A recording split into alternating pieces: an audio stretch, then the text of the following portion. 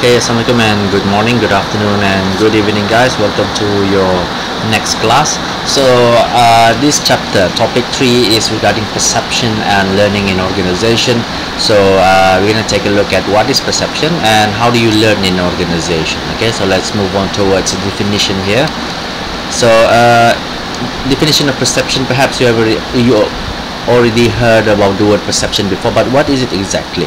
So i'm just going to take a look at the first one here there's a process of receiving information about and making the sense making sense of the world around us how you perceive how you see things. As you can see um, as you can see the picture there with people with the uh, telescope or something yeah they're, they're looking at something we don't see things as they are we see them as we are. You can say that how you are as a person that's how you perceive the other person is like. Okay you understand me?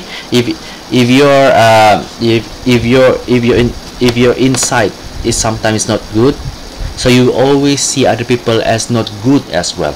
You understand? If your inside is good you always will always see the good things about other people. So it's the it's how you compare yourself with other people how you perceive yourself towards other people is that that kind of connection yeah?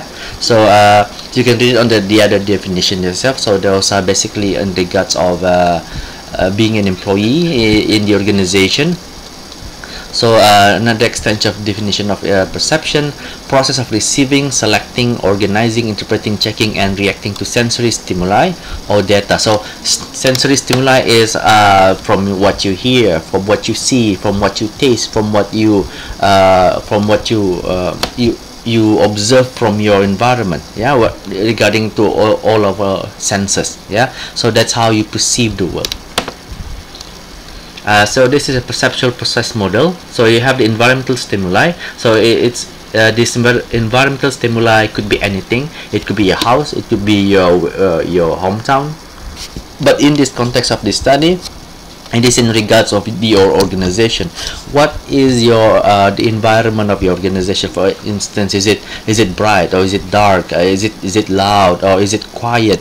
Uh, the what what kind of color what color are being used to uh, to paint the the walls what kind of music are being played in the elevator. Those are the stimuli. What kind of people are uh, are there? What kind of culture? That those are what you say external stimuli that you see. So it will this external stimuli will then affect your feeling yeah? Uh, affect your hearing affect your seeing smelling and testing. So all of those are uh, caused by your external stimuli. Uh, next you have your selective attention organization and interpretation attitudes and behaviors towards the last one because all of those things will eventually come towards how you behave yeah? Selective attention means to say uh, those are things we're going to discuss after this as well as organization and interpretation how you interpret things yeah? Uh, for instance i'm just gonna give you a simple demonstration imagine if you're working in an organization and your environment is really loud and you're not being able to focus. So because of you're not able to focus you didn't perform well in your job because your uh, your, your your focus was not there. Your your, your mindset uh, was uh, was taken away because of the loud uh, loud loud music or loud sound that you did not like.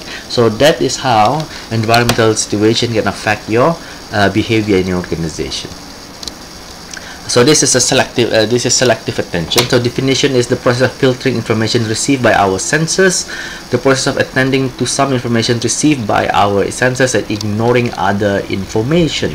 Okay so uh, let's say you you you focus on a particular object uh, in the environment for a certain period of time. You don't really focus on the whole picture but you only focus on one or two things. For instance uh, uh, if there were 10 people standing in front of you you probably be focused on one or two people because probably you like her or probably you like him because they or, or those people dress in a certain way. That is what we say as a selective attention yeah? Because your it's it's focused to be there yeah? Your your, your mind is focused to be there because uh, you are somehow instrin intrinsically uh, attracted to them or it's calling for you to to see them yeah uh, you can take a look at two psychological principles here figure, figure and ground principle based on significant and insignificant of information and relevancy principle based on needs and desire whether you need to see it or whether, whether you don't want to see it.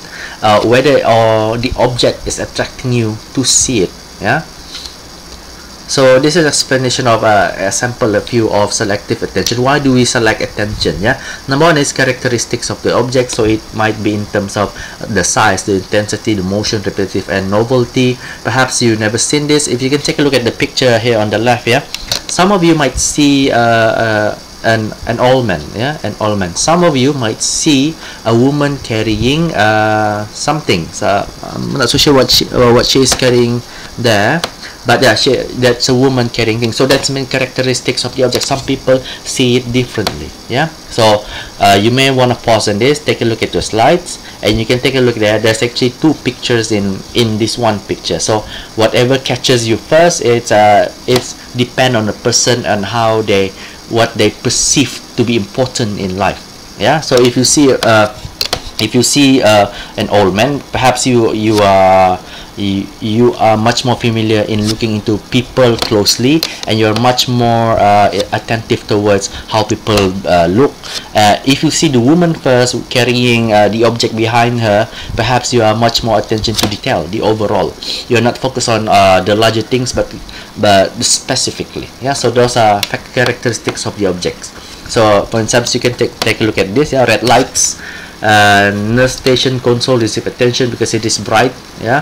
So things that are flashing things that are uh, color attracting will get your attention.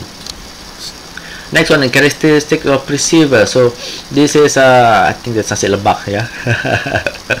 For those who are fasting uh, um, I'm so sorry about this but yeah this is basically nasi lemak so characteristic of the perceiver also influence our selective attention usually without the perceiver awareness. When information is received through the senses our brain quickly un and unconsciously assesses whether it is relevant or irrelevant to us. Uh, so this is uh, what we say as without the perceiver awareness. It is attracting because probably you're not hungry but because you're you're looking at it you know it's food. Oh that's food. Even though you're even though you're not really hungry but our brain are designed to find food. Our brain were designed to find whatever that can accommodate our need. So sometimes you don't really need it but because your brain wants you to focus on it uh, unconsciously uh, you will be aware about for instance there could be danger yeah in the dark. Uh, you don't know what's in there but instinctively you know you don't not, you don't want to go there. Yeah so what is the characteristic of the perceiver yeah? You can take a look at students receive several information regarding the courses registered. Valuable information less important. So there, there are things that uh, you like there are things that you don't like. For instance it, uh, as well if you take a look at this picture of nasi lemak yeah? What is the first thing that you see? Is it the rice or is it the sambal or is it the this chicken or is it the uh, um, the uh, the vegetables or the uh, the eggs at the back. So it depends on each one of you which one is the most interesting part yeah? Especially the first thing. Okay I'm just gonna move on to the next slide here but I, I, am thinking that gonna have, have the gist of this there example of emotional markers yeah emotional markers means say you know that person is uh, showing their emotion just like in this previous slide.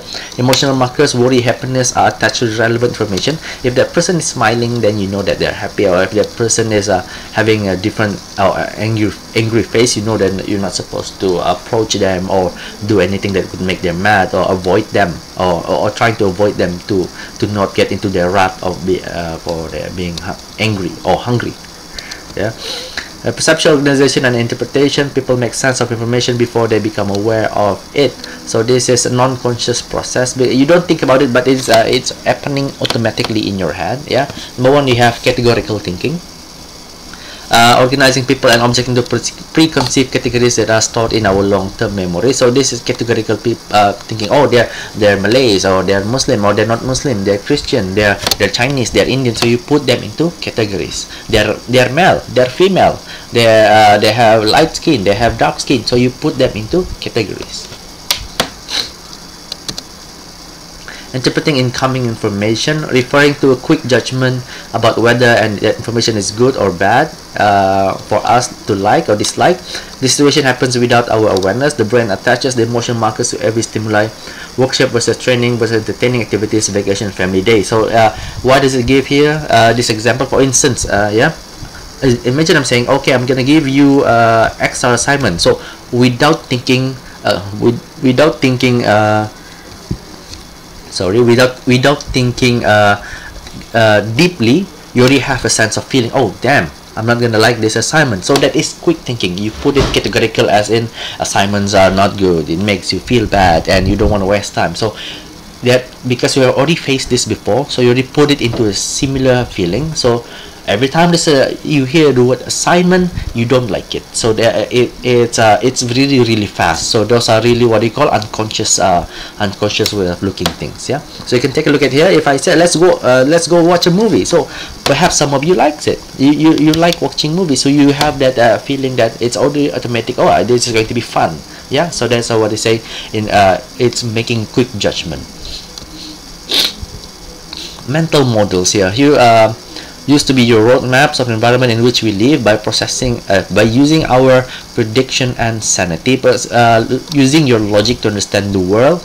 Uh, Mental models are internal representation of the external world, consists of visual and relational images in our mind to figure out in the mind the information we receive. So it, it takes a look at how you see the world itself, how do you understand the world, and how do you comprehend what is going on to you. For instance, yeah, for instance, some of you uh, perhaps never seen something new so when you don't know what it is you've never seen it your your your brain will try to make something up for instance uh, if you hear a, a, a voice in the dark you don't know whose voice is that but your mind is creating all of these theories whose voice is that. Perhaps uh, it is a ghost or perhaps if you're much more logical perhaps uh, it's just a creation of of the wind. So it these mental models will decide how you see the world how you observe the world yeah social identity theory perception is a combination of self-perception your yourself how do you see yourself and how you see other people as well. So there's a uh, this is what we call as SIT sit yeah okay? Social identity is identifying ourselves in terms of groups to which we belong uh, personal identity characteristics that make you unique and distinct from people in any group. We define ourselves by uh, our gender race and age so you can take a look at example here SIT and an overview. You, you you see yourself here your personal identity uh, you're six foot tall you're outgoing I'm interested in sports. And your social identity you're an American or in, in, our context you're Malaysian. I am an employee of XYZ or in this context you're a student of UITM and I'm a student at a big state university or perhaps uh, you're working in uh, another organization. So that is your personal identity and your social identity. So it is different. So perhaps you can put there I am uh, social identity I am Malay I am Dusun I am Bajau I am Kadazan or I'm Brunei. So those are social identity. And your personal identity I am uh, I am smart I am uh, I have long hair I have short hair or whatsoever. Yeah? Those are those are the SIT yeah? The differences who you are. Uh, process of forming and maintaining social identity the focus on group identity rather than personal identity. So uh, categorization process compare characteristics of our groups with other groups. We use social categories. Uh, i think we have mentioned about this yeah homogenization process. So homogenization in to say that yeah it, people are more similar. There, there's a lot of people that shares a common trait. For instance uh, homogeneous society are people that made up from the same culture or religion or race. For instance uh, Japan. For instance uh, Chi China. For instance South Korea. Those people there uh, a country that is high in homogeneity because they have uh, one culture, one language, and one re religion. Means not only one, but the majority. Majority. Unlike uh, Malaysia, we don't have this homo homogeneous society. We have heterogeneous. Yeah, I mean to say we have a lot. We have Muslim, we have uh, non-Muslim, we have Christian, Hindu, Buddhism, and etc. Same with races. So we have a lot of things going on. So that's mean homogenization process so you will see uh, similar traits within a group different traits across groups. For example you have categorized as a student. The chances you are will adopt the identity of student and begin to act in the ways you believe student act yeah differentiation process. Develop less favorable images of people in groups other than our own more favorable images for our own group. Categorize ourselves as part of group and have identified with that group. We tend to compare the group with other groups. You compare your culture with other culture. You compare your religion with other religion. You compare your race uh, with other races because uh, you want to differentiate it. Uh, so you that you know whose culture you are in whose culture is not part of you you become really conscious about what is going on uh, especially in organization itself yeah? So this is really important when you're trying to work with people with different culture people with different races stereotyping in organizations. So i think uh, you guys might have heard of stereotyping before. So uh, the product of this is the product of SIT process of assigning traits to people based on their membership in a social category. Why people stereotypes yeah? Uh, categorical thinking yeah? You just put them into a category strong need to understand and anticipate other behavior so you can predict them easily. You can anticipate what is going to happen. You can anticipate what they're going to do afterwards. So it's easier for you to forecast something that's going to happen. Enhances our self-perception and SIT uh, sorry social identity people tend to develop negative stereotypes. I mean say oh those race of people is manly or those uh, race of people are not hardworking or those race of people are stingy or those race of people are do not do not care about other people yeah are selfish. So those I would say are negative stereotypes that because we want to make sure that, that there's a differentiation differentiation between our groups. So why this is this important is because uh, we want to create we want to preserve how we see ourselves how we see our society. Because uh, if you're not functioning well in your society then it could uh, bring problem to you. This is a And Braly's racial stereotyping. What Americans were seen as industrious, progressive, and ambitious. African Americans were seen as lazy, ignorant, and uh, musical. So you can combine this. You can also adopt this and put it into Malaysia. There are certain races that are seen uh, such as very progressive, and other races seen as uh, very lazy. So you stereotype based on race, which is not good. Yeah, but uh, it is part of the human nature to stereotype advantages and disadvantages. So there are also advantages and disadvantages of uh, when you stereotype people. Yeah it's not always uh, disadvantage. There are some advantage and believe it you can uh, tell me uh, yourself your own experience by making your stereotypes. Uh, so let's take a look at the advantage here. It enables us to respond rapidly to situations uh, because we may have had similar experience before. Personality and work behavior assist in making decision uh, so it you you can make decision faster because you you already have the kind stereotype. So it will make you work faster yeah? Uh, disadvantages that makes you us ignore differences in, in individuals therefore we think about people that might be not true. Make them generalization. All races are the same or all people of this religion are the same. So you cannot make generalization because each people in each of the organization or in each of those group of people are different than uh, different from one another. So you cannot generalize them all. Yes so you can uh, take a look at it. also uh, then the disadvantage is discrimination for instance you think that women are lazy or men are lazy so you don't uh, you don't want them to work in your organization so that is a bad stereotype yeah minimizing stereotyping bias stereotyping bias so you can reduce uh, you can reduce the stereotyping bias that is happening. Uh, so number one is diversity awareness training. You can have this training in your organization. Therefore everybody will be much aware uh, of what is going on uh, much more uh, compassionate towards other people that are, uh, are always uh, on the stereotype scope yeah.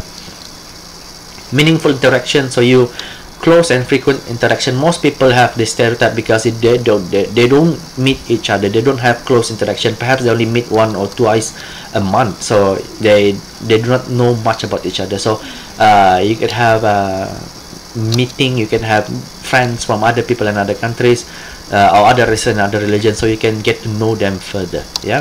Decision making accountability making people accountable for their decision motives uh, motivates them to consider objective info rather than stereotypes so you you need to make sure that whatever they information they receive they uh, they verify it they they understand that uh, whether the information is true or not therefore that the stereotypes can be reduced next is we're gonna go towards attribution theory. So attribution is, uh, uh, I think you have word. It comes from the word attribute.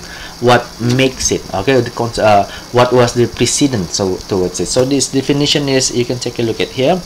Uh, the perceptual process of deciding whether an observed behavior or event is caused largely by the person or by the environment. So we have two here internal and external attribution so let's take a look at the first one here this is internal attribution so you can do uh, the, uh, the clear first definition here uh, the process of assigning the cause of behavior to some internal characteristic rather than to outside forces. So you, you you take a look at your behavior to some internal characteristics yeah? For example here uh, we we attribute the behavior of person to their personality motives or belief uh, because uh, that their personality is happy-go-lucky so they're, uh, they're, they're that's why they are successful. Uh, because they always wanted to seek more their uh, advantages to see to get to know people from different places so it's easier for them to get jobs yeah? So that uh, you believe that that that perception is that uh, you are successful or you're not successful is because of how uh, how they are inside. Is it because of their laziness or is it because of how hardworking they are? So that is the internal attribution. For instance in your examination perhaps you see a lot of your friends go A. So you put you you say that oh they got an A because they are hardworking. So that is internal attribution. Oh oh they did they only got a C or only a B minus. Oh they're lazy. So those are internal attribution that you put among to yourself as well as other people. And next is external attribution. So uh, the process of assigning the cause of behavior to some situation or event outside of the person. So we take a look at the example here uh, traffic jam family emergency failed alarm clock or other circumstances prevented the worker co-worker from attending. So you can take a look at this and um, compare it with the Mars model in the last uh, chapter. Uh, under the Mars model we have the as situational factor. So this situational factor is very similar towards external attribution. Uh, meaning to say you're successful. For instance you you have an A not because that you're lazy or you're hardworking but because your lecture is good yeah? Or you got a C or you got B minus B, uh, uh, for your paper not because of your lazy or whether you're hardworking but because you're you, you you have a very sucky lecturer yeah? So those are the things that are like external attribution that you always give yeah? That you always give to yourself or you always give towards other people that you're not willing to get uh, for instance uh, accountability yeah attribution errors or uh, this is attribution errors uh, why we say that because sometimes when we attribute other things towards uh, the things that already happening uh, it could be false. So you need to make sure that the information or the attribution that you are giving are justified or are real yeah? So the first one here is that fundamental attribution error which is other people attributing other action to internal factor rather than their situation. Late commerce causes by personality factors and not by bad traffic yeah? Clear? Just because they are late doesn't mean that they are lazy or doesn't mean that they have bad attitude. Perhaps they live two hours away and the traffic jam is always crazy yeah? Clear? Self-serving bias ourselves attributing our success to internal factors and our failures to uh, external factors such as bad luck. Yeah means to say that you're not performing well. So you say oh it's just bad luck. Oh it's just because of the weather. Or oh, is it because of these people? Oh because because uh, there was um, an earthquake this morning. So you, you didn't really perform much well. Yeah so you always attribute your failure or uh, your failure to external factors rather than your own. Yeah so same goes with this the previous attribution error next we can take a look at uh, self-fulfilling prophecy. So i think you know what is a prophecy right? It's a prediction of the future. So occurs when our expectation about other person cause that person to act in a way that is consistent with those expectations our perception can influence realities. You can take a look at here. Example here. Uh, you form certain expectation about each of your players oh he's a good player or he's a bad player. And then you communicate those expectations oh you're really good or you, you're really you really you really know how to play this sport. And then when that happens your athletes respond to these cues by adjusting their behavior to match your expectation. They will uh, focus more they will uh, uh, they will uh, train more and then your expectation become true. They become really good athletes. Uh, so that is why we call self-fulfilling example of self-fulfilling uh, prophecy. And it can go the other way around and uh, come negatively. Oh you're i think that he's or she or he is a bad uh, player. So you tell them oh why why don't you play so good? Why is your talent so so low? So they will then add higher to what you were listening and they will do horribly in playing games or whatever therefore they become at the end bad players. That is why self-fulfilling prophecy is very important. Uh, if you say that oh i'm i'm uh, i'm not a good student so because you you think that you're not a good student then you uh, you expect other people oh you're, you're also not a good student. So when you say you're not also not a good student then you perform as not a good student at the end. So you need to convince yourself that you're a smart student. You need to convince yourself that you are a hardworking student. Therefore you will uh, be convinced that you are hardworking and you will emulate okay? You emulate those quality. You mean you mean meaning to say that you are you are telling yourself that you are going to be successful by early on. So i'm going to tell you guys right here like self-fulfilling prophecy. I believe that you guys are really smart student and you have the capability of understanding uh, understanding it on your own. And if you are if you cannot understand on your own you you can you are very hardworking in contacting the lecturers to gain further information. And through that you will then perform and then eventually you will get an A for this paper. Uh, so there's a self-fulfilling prophecy that, that I hope is working for you yeah? But remember Mars model situational factors. So you can refer towards all of this yeah? Self-fulfilling prophecy cycle so you can take a look example. I think we already discussed about this. So this, so this is a, a sample of employees in an organization. Uh, this as well example. You can take a look and read on your own. I think it's really clear. Make sure you read yeah don't don't just uh, don't just uh, what you call just pass over it and not gonna uh, figure about it later on. So make sure you pause the video and take a look at the slides and try to figure on your own. And as always contact me if you're confused. Contingencies of, of self-fulfilling prophecy. At the beginning of the relationship uh, is uh, the self-fulfilling prophecy effect is strongest at the beginning of the relationship. Meaning to say you early on when you join the organization okay you're a bad employee or you're a good employee. So it, it starts at the beginning. You cannot start uh, it's the it's not the best when you start it somewhere at the back or towards the middle yeah of your uh, if the of the working.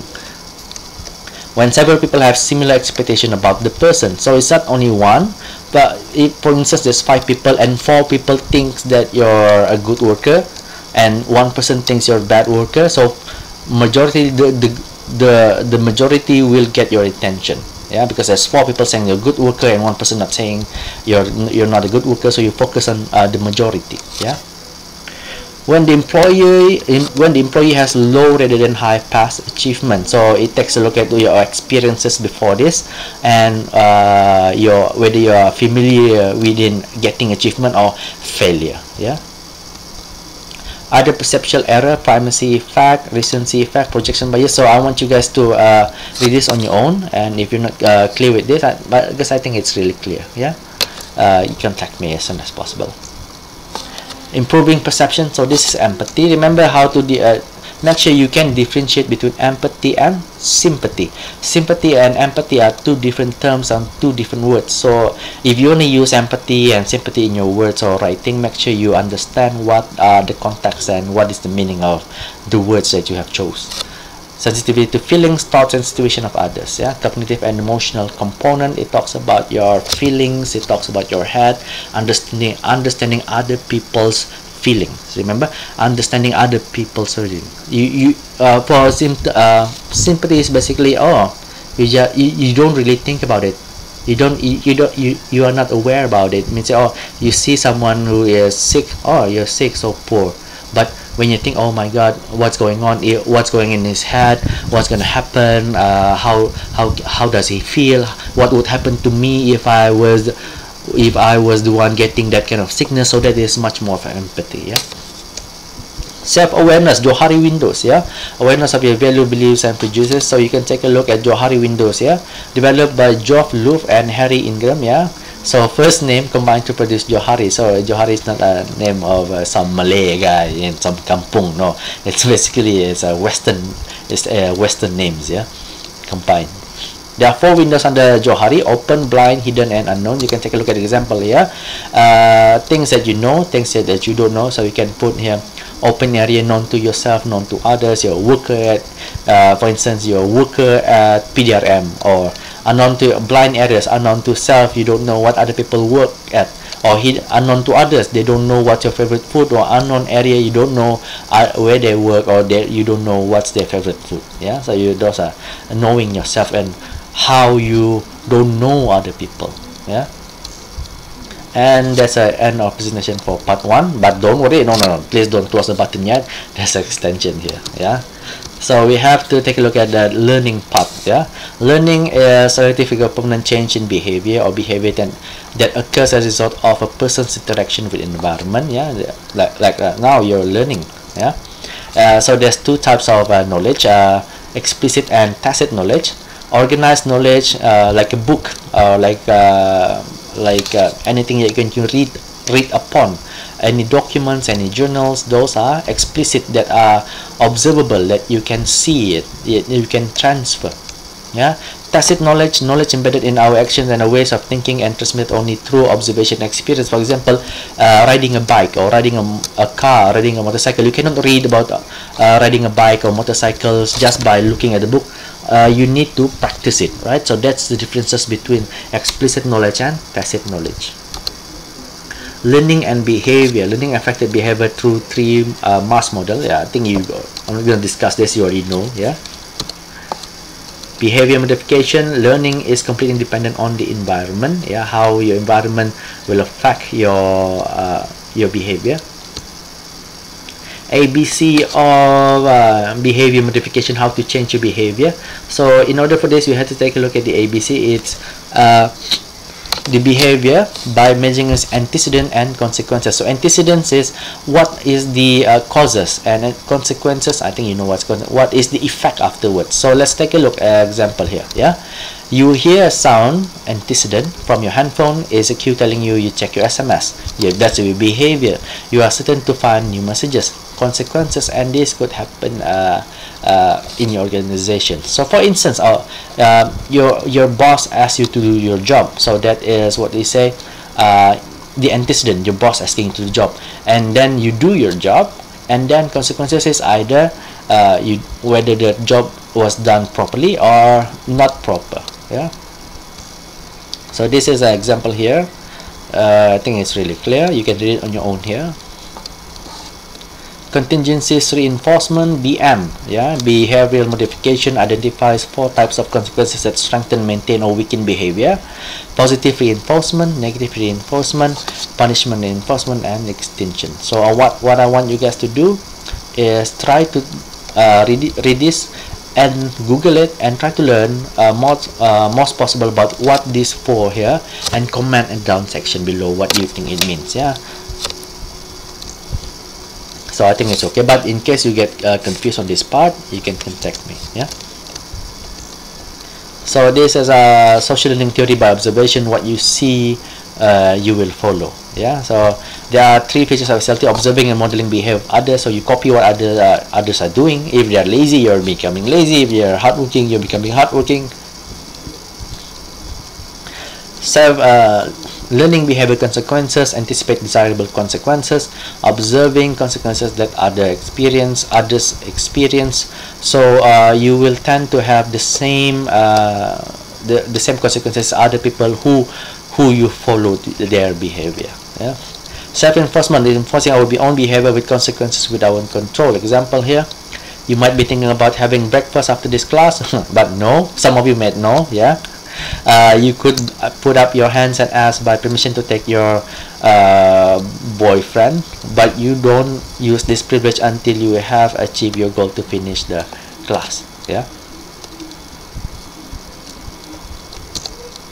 So I think that's clear yeah? So uh, this is an example of imitating model yeah? Uh, you observe through observation learning through experience. Yeah i think you i think it's really uh, clear. You learn through experience whatever your experience you have that's how you make your learning. How that's how you understand the world. This is called experimental exponential learning model. Your concrete experience reflective observation abstract conceptualization and active experimentation. So you can take a look at how it is being described here involve sensory and emotional engagement involve listening and watching.